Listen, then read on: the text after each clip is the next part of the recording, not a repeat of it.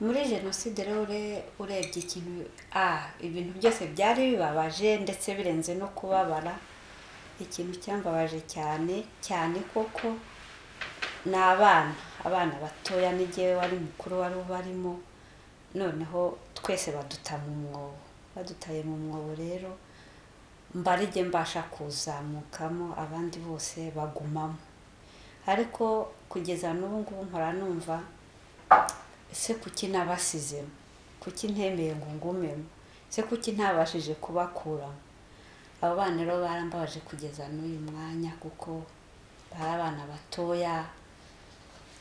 Ntacyo bazi ntacyo bazira. Barambabaje rero cyane kugeza n'isegonda abo bana byanze kumvamo.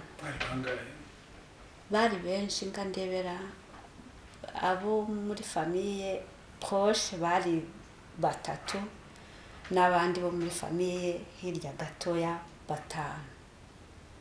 Ariko ubwo ndavuga nyine abo mu muryango wanjye. Ubwo rero bose urumva n'igihe nabashije kuvamo basigaramo ndetse harimo n'abasigayemo bariho bataka bababara. Nsa naho ngiye ngiye kubatabariza ko nari ntaramenya neza puresize ibintu biriho biba impamvu bi- bimeze gutyo. Numvaga hariho umuntu uri buze abo bana akaba akabakura mu mwobo. Rero urumva abo bana nibo bagumye kumbabaza kugeza n'ubu.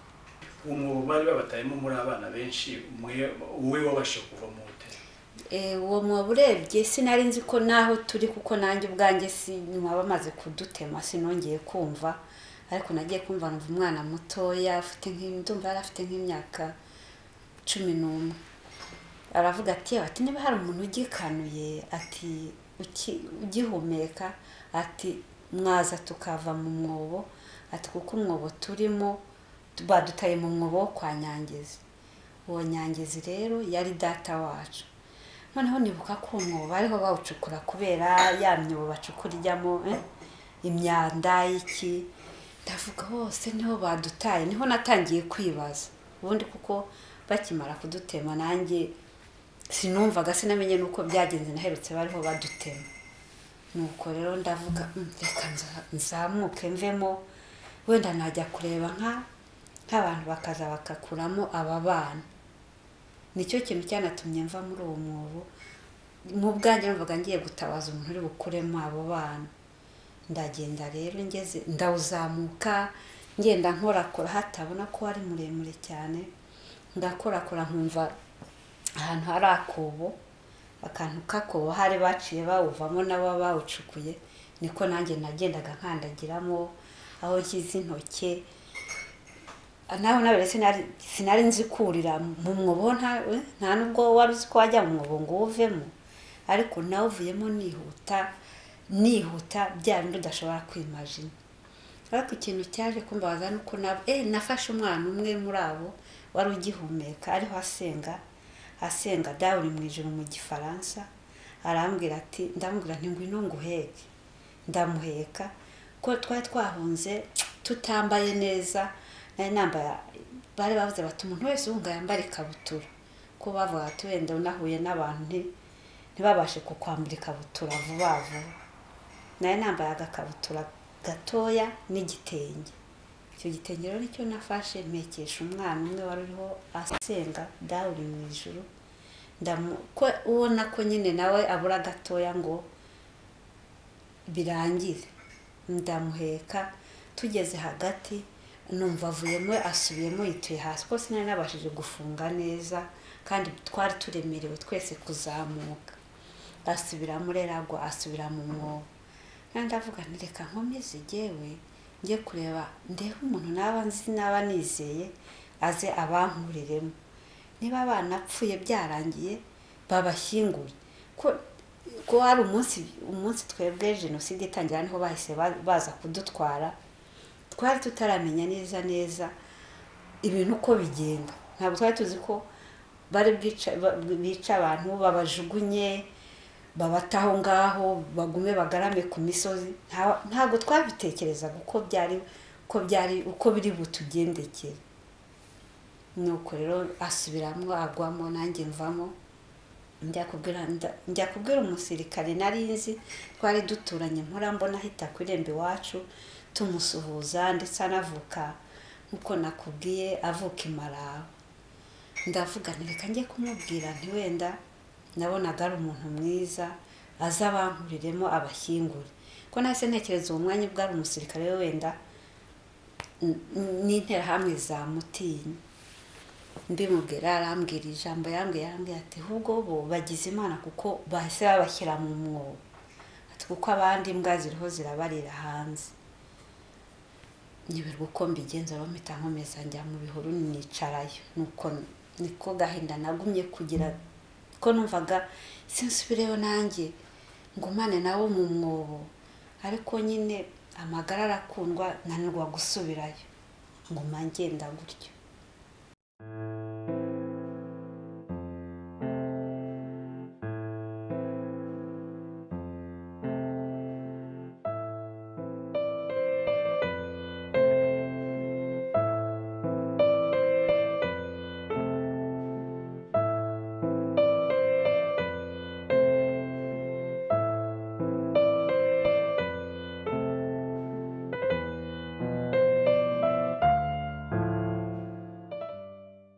Nyuma yo kubura uwo muryango wanjye byarambabaje cyane kuko nta nubwo bari hamwe. Bamwe bari ahitwaga ikibungo abandi bari i butare nyine abandi bari i kigali. Abantu ntibari hamwe nk'uko nyine mubizi abanyarwanda bamwe bashaka ha- hirya abandi bagashaka hi- hino. Ubwo rero jenoside irangiye icyo nakoze nakoze uko nshoboye njya kubashakisha. Aho ngeze ngasanga nabo barishwe. Icyo ibyo bintu byarambaje cyane aho ngeze ahitwa ikibungo ko hari bakuru banjye babiri bashatseyo kandi bafite n'abana. Ndavuga "Mm, ab'i butare bo ndabona ko nta muntu usigaye ntare kureka njye n'ikibungo kuko akenshi ntiwamenyaga ko ahantu hose byagenze nk'uko byagenze aho wari uri. Icyambabaje cyane rero ni uko nagiye nteze imodoka nta n'amafaranga nari mfite. Uko nagiye sim- simbyibuka neza ariko nagendaga ntega kandi nta mafaranga mfite. Mvuga ngo njye kureba bakuru banjye bankundaga cyane babaga hafi ya tanzaniya urebye. Ngiye rero icyambabaje ni uko bambwiye ngo baba- babataye mu mazi n'abana babo. Icyo kintu cyo cyambaje cyane kuko abo twari kumwe nari nzi ko bapfuye nkora urugendo runini cyane kuva i butare ujya i kibungo hari kure cyane naniwe na jenoside itararangira neza ku buryo ndibuka nahuye n'abasirikare ba fpr barambwira batese urajyayo ndabwira nti ngiye kureba bakuru banjye. Batese ko hariya hatagendwa? Aho hantu nta muntu wari watangira kuhagenda.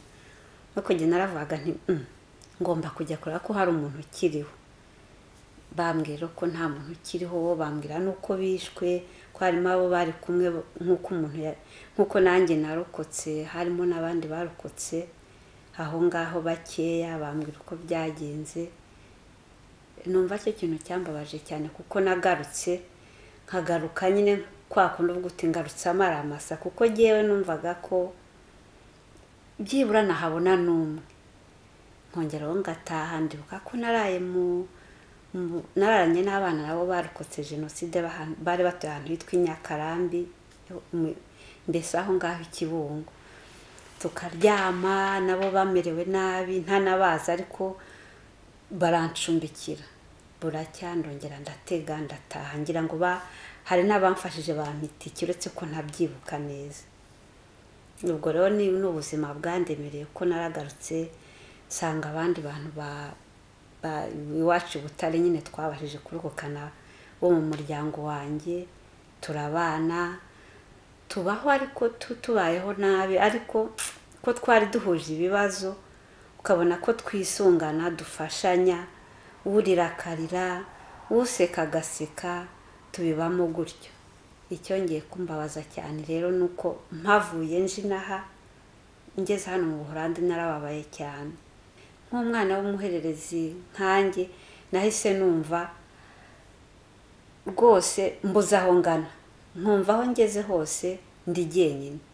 Kuko naburaga rwa rukundo rw'umuntu ukuzi wenda ntavuze n'abo twavaga inda imwe n'abaturanyi ukumva ese ninde uzanyumva? Ko uwo ari no kunyumva ntashobora no kumubona. Na- nasigaye rero aho ngeze hose ni- nisanga jyenyine. Ah, nkavuga ariko nkumva uwo mbwira ntabwo anyumva.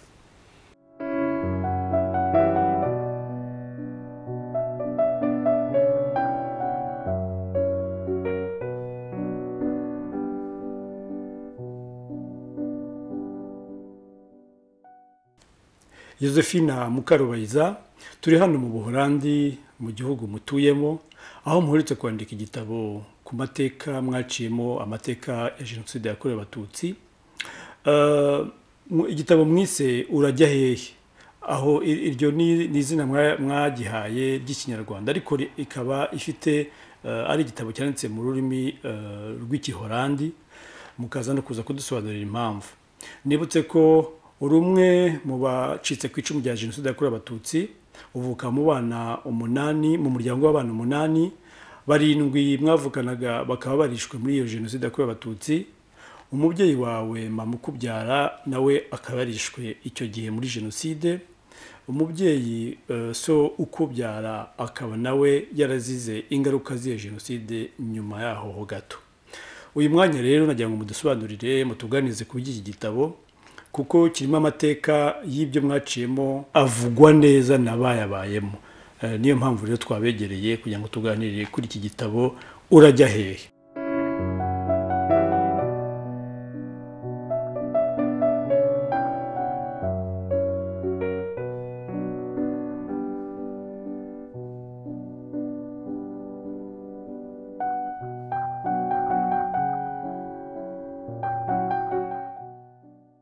Nitwa josephine mukarubayiza nkaba mvuka imaraba ho muri butare mu karere ka huye. Nkaba jenoside yaratangiye ndi aho bitaga icyarwa. Nkaba ari naho nabashije kurokokera. Nkaba mvuka mu bana umunani nkaba imfura yacu yaritwaga mukandinda julienne ni verariya mukagakuba reveriyani ntambara nsabimana vianney na siteria mfizi na serafina nyirarukwavu nanjye. Aba bavandimwe banjye bamaze ku- kuvugamo. Banditse no muri iki gitabo nanditse kubera ko ni jyewe wari mutoya muri bo mbese nijye nari umuherezi mu- muri famiye mu muryango wacu. Abo maze kuvuga rero narabanditse na- ndetse n'abana babo ko nijye nari mutoya twari dufite n'abuzukuru mbese abo ba- ba- bakuru banjye basaza banjye bose bari barashatse bafite n'abana. Ubwo rero bose niyo mpamvu nabanditse muri iki gitabo kugira ngo batazanibagirana. Ntazanabibagirwa nanjye ndetse n'abana banjye bazamenye ko bari bafite nyine uwo muryango. Nk'uko rero nabikubwiye karirima muri uwo muryango wose n'igihe ari umuhererezi. Kandi bakuru banjye basaza banjye nkaba ari bo nareberagaho igihe cyose ikintu cyose nibo nareberagaho barankundaga narabakundaga. Ntabwo nashoboraga gukina nabo ko nari muto cyane mu muryango wanjye ariko nari nishimye. Nari nishimye kuko nigiye barebaga. Bandebaga nka murumuna wabo bakandeba nka mushiki wabo ariko hari n'ikintu nabonaga abandi nanone nk'aho ndi umwana wabo kuko bandutagaho barandutaga. Muri make rero nari nishimye nishimye cyane. Mu buto bwanjye narishimye ku buryo na n'ubu ngubu ibyo byishimo ari byo bitu- bitumye mbasha kubaho.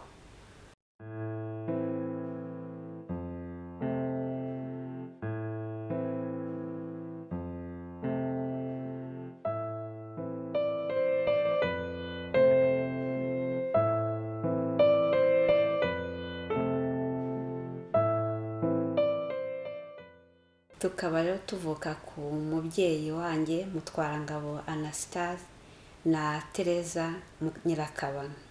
Igitabo rero nkaba narakise urajya hehe urajya hehe bayiza? Ubwo rero muri make iki gitabo nacyanditse byamfashe igihe kinini kubera ko naba- nabanzaga kwibaza uwo duhuye wese mubwira ibyerekeranye na jenoside yakorewe abatutsi. Ariko ku bwanjye nkumva ntabyumva uko nshaka kubimubwira. Ariko nkagerageza nkabimubwira kubera ko nabivugaga cyane cyane mu rurimi rw'igihorande kandi igihorande ntakizi. Ariko nakoze ku buryo mbivuga ko numvaga kuri jyewe kutabivuga ari nk'igihombo. Ubwo rero naracyanditse ngerageza kucyandika mu gihorande ariko sinakirangije. Cyararangiye mu gihorande ariko nifuza kucyandika no mu kinyarwanda kugira ngo n'abarokotse jenoside yakorewe abatutsi cyangwa se n'abatarokotse jenoside yakorewe abatutsi bayimenye. Kuko ni urebye kuri jyewe ni agaciro ku- kuba narabashije ngewe gusigara kandi nta n'icyo nari ndushije abo bantu bishwe mbere ya bishwe. Hanyuma nkavuga nti yewe icyo nabakorera ni ukuvuga uko bari bameze ibyo bakoraga uko bishwe ko byose narabirebaga ibyinshi. Aho sinabibonye iby'u rwanda rwose ariko aho narindi narabyireberaga byose. Ntacyo narushaga bagiye icyo mbarushije ni ukuba ndiho mbavuga. Urukundo rwabo ubwihangane bwabo bwa- byagumye bimpesha ishema kugira ngo nzabashe nanjye kuribahesha. Ubwo rero muri makeya niyo mpamvu nanditse iki gitabo. Nk'uko nakise urajya hehe bayiza? Kuva nasohoka uwo munsi jenoside itangira aho twari du- dutuye aho twari turi impamvu nakise ngo urajya hehe bayiza? Sinongeye gusubiza amaso inyuma. Nakomeje ngenda urebye nagendaga ni nko gushakisha aho waturiza ngo ubashe no kuzongera utekereze ku byo wanyuzemo n'iby'abandi mwari kumwe banyuzemo. Ubwo rero ngeze hano ni ho nahise ntekereza nti ngeze aho nshobora kwicara nkavuga abantu banjye nkatekereza no ku buzima bwanjye. Nkabuvugaho nkandika igitabo nkandikira abana banjye bakazamenya uko abatante babo bishwe uko ba nyirarume bishwe uko ababyara babo bishwe ko bari bakazamenya mbese umuryango w'aho umubyeyi wabo akomoka.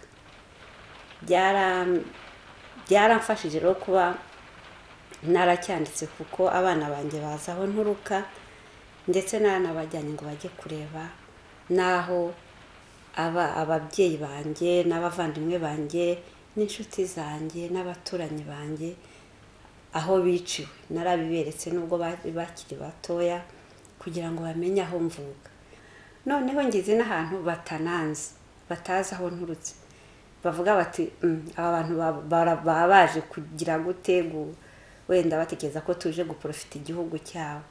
Numvaga ibyo ngibyo ntashaka ko babimbonaho numvaga ashaka ko bambona nk'umuntu nkabo. Ufite nanjye aho navukaga.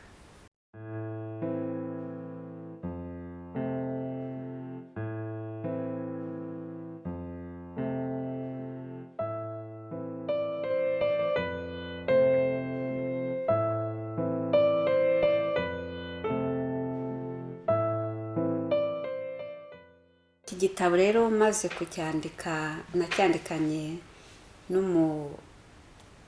n'umuholandekazi witwa Et- etiyonke tukaba twarafatanyije kucyandika ndetse nawe byamuhaye kumenya isura y'igihugu cyacu kumenya ibyabaye mu gihugu cyacu bigatuma ndetse ajya no kubishakisha akabimenya ndetse ibyo yasanze nanditsemo akabibona akanabyibonera. Iki gitabo rero cyatumye ndetse aho dutuye hano hitwa muri firizilande cyatumye abantu bose baza kunshaka bambaza aho nturuka barakisoma birabatangaza nabo bimpa agaciro bituma mba we ikindi cyiza ni uko iki gitabo cya- cyagiye no mu mashuri abana batoya bakamenya igihugu cyacu ibyo cyaciyemo bakamenya amateka ya jenoside yakorewe abatutsi. Urebye muri regiyo dutuyemo byatumye n'u rwanda rumenyekana guhera ku bana batoya bakajya babaza n'abana banjye aho ba aho mama wabo avuka bakamenya n'ibyahabaye. Ibyo rero bituma n'uwaza kubeshya wenda avuga ati nta jenoside yabaye yakorewe abatutsi abenshi barabizi. Kandi bya- byanyuze no ku- mateleviziyo ya hano muri firizilande ku- mu- mu- mu ma- mu- mu- mu- mu binyamakuru. Ahantu hose hangombwa hashoboka cyamaze kumenyekana. Icyanshimije rero nanone kuri iki gitabo ni uko nagiye haye burugumesitiri wacu agatumiza abandi bantu benshi akagisoma akagiha ubuvugizi bugikwiye. Hanyuma rero bigatuma tugiperezanta no mu mashuri mu abanyamakuru ba hano muri iyi regiyo dutuyemo bakaza nabo bakakireba bakagisoma. Ba- mbese byatumye abantu bose bashaka kugira inyota yo kumenya neza aho nturuka. Hano dutuye rero ni aka ni aka village gatoya cyane. Abantu batuyemo bose urebye baraziranye.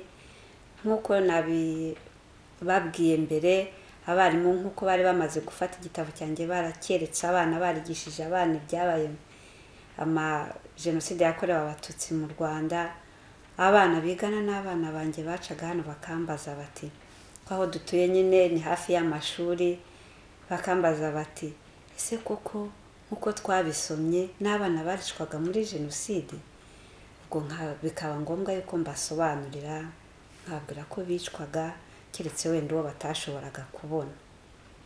Ukabona ndetse birabatangaje cyane bigatuma basubira bagisubiramo no gusoma bashaka no kumenya koko u rwanda aho ruherereye.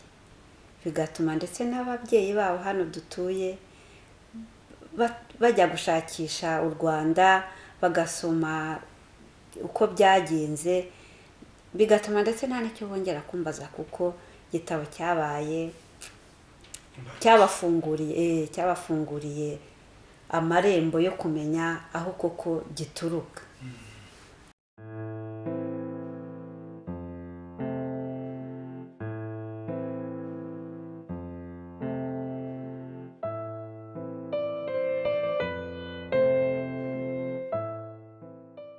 Ikinshimisha cyane rero muri iki gihe ni ukubera ko ntawe ukimbaza ibyerekeye jenoside. Ahubwo bambaza ahubwo bo baza kumbwira bati eh uyu munsi twabonye mu rwanda iki n'iki? Twabonye u rwanda rurasa gutya u rwanda rwubatse gutya. Kuko mbere hari n'abatari baruzi. Bakambwira bati eh twabonye perezida wanyu yaje mu buholandi. Mbese nanjye nkanababwira ko ntiya ntihubwo ni nanjye mvuyeyo yari yaje nk'iyo ngiye mu bintu bya ambasade nkaza mbabwira uko byagenze. Mbese mbabwira nk'aho nabo baturuka mu rwanda? Kubera ko bararuzi baruzi kandi kubera iki? Kubera icyo gitabo. Noneho nkaza urumva ko nta n'undi mba ndi bubwire w'umunyarwanda aho ntuye nta n'umunyarwanda wundi uhaba mbese noneho nkababwira nk'aho nk'aho mvuye tuvuge nko mu mujyi nsubiye mu giturage wenda tuvuge nk'aho navukiye ndiho mbabwira ibyo mvuyemo. Kandi bakantega amatwi bakambwira bati oh bati ubutaha ahubwo tuzajyana. Ku buryo mbabwira u rwanda rwose ruragendwa ubu. Ntawe ukimbaza ibya jenoside aho duturanye si bakeya kandi uwo twahuraga wese yarambaza "Mm, uba hano gute waje ute uva he? Ubu ntawe ubimbaza kuko hari n'igihe bambwira ba- kuko aho nara agera aho mvuka hitwaga i butare icyo gihe. Hari igihe umuntu aza akambwira ati uzi ko i butare? Ati nabonye yuko ati dogere zaho ati ubu ngubu ni ni venisenke ibiki n'ibiki ukumva arakubwira ibintu by'i butare kuko yabisomye. No nkumva kandi bimpaye nkumva bimpesheje agaciro udashobora mudashobora kumva namwe. Kuko nyine nk'uko nakise nakise ngo utazi yajya ntamenya utazi yava ntamenye yajya.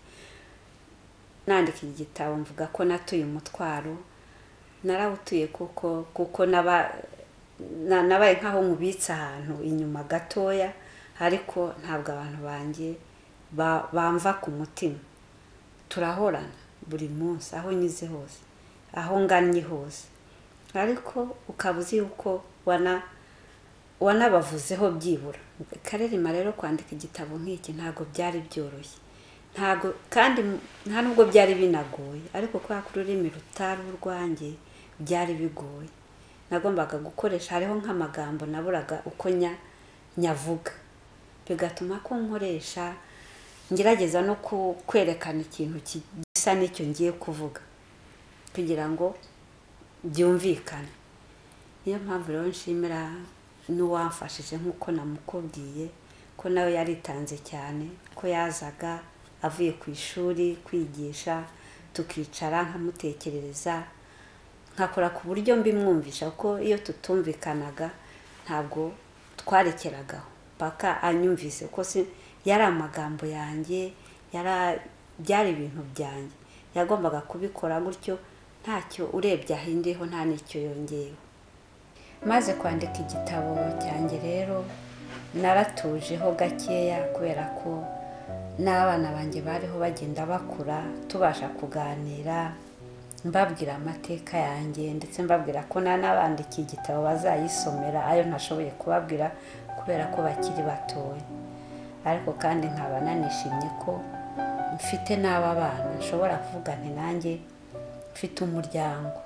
Umuryango. Byibura nti ababyeyi banjye nanjye baransize nagize imana ndasigara nanjye mfite wenda icyo nzasiga. Urebye rero muri makeya ndishimye ko abana banjye rwa rukundo nahawe ndarubaha. Ndarubaha kandi nkarubaha nk'uko nanjye naruhawe. Bikaba rero numva nishimye cyane cyane kubera ko mbashije no kubona n'igihugu cyanjye gitera imbere gisa neza numva n'aho nyuze hose mvuga ko ndi umunyarwanda atari ukuvuga gusa ngo jenoside kandi ko no kuyivuga ntibintera ubwoba kuko ntaho wayihungira ni hahandi nkaba rero nishimiye yuko n'abana banjye nshobora kubajyana aho mvuka.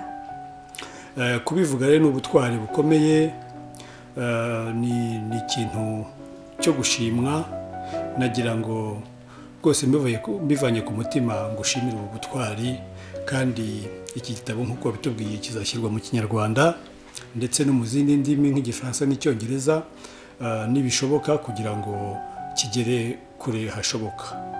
Eh, mm, ubwo rero narangiza mbifuriza gukomeza kugira ubu butwari imana y'u rwanda ikomeze ibarinde wowe n'umuryango wawe n'abawe bose. Murakoze